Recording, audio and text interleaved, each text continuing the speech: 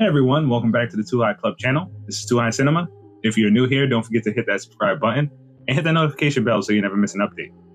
Today we're diving into one of the most compelling dramas of the last decade, The Social Network. But before we get into it, I want to ask you, have you seen this incredible film?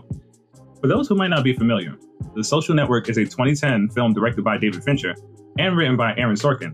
It tells the gripping story of the founding of Facebook and the tumultuous journey of its creator, Mark Zuckerberg, portrayed brilliantly by Jesse Eisenberg.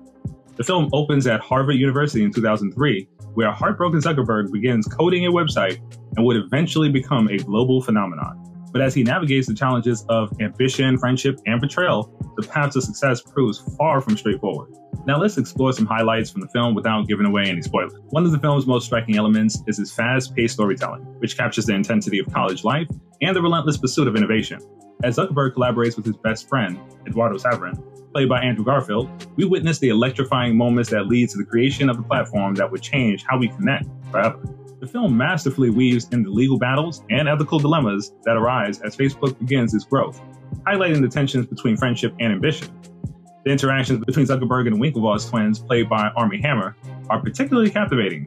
The rivalry adds a layer of complexity to the story and raises questions about ownership, credit, and the price of success. What truly sets the social network apart is its sharp, witty dialogue, thanks to Aaron Sorkin's incredible screenplay. Each line crackles with intelligence and humor, making the characters feel real and relatable. David Fincher's direction complements this with a stylish visual approach that keeps you on the edge of your seat.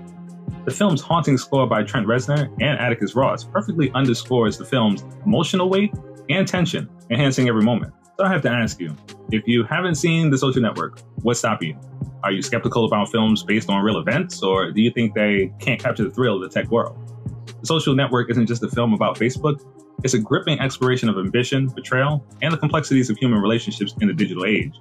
It's a must watch for anyone interested in the intersection of technology and society. All right, so come on. Let's get the conversation started. If you've seen the social network, what were your thoughts?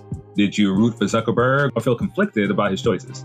And if you haven't watched it yet, are you ready to dive into the captivating tale of innovation and rivalry? Drop your thoughts in the comments below. Don't forget to like this video, subscribe to the channel, and hit that bell icon so you never miss an update from me. But now let's spread the word and you never miss an update from me. And stay lifted.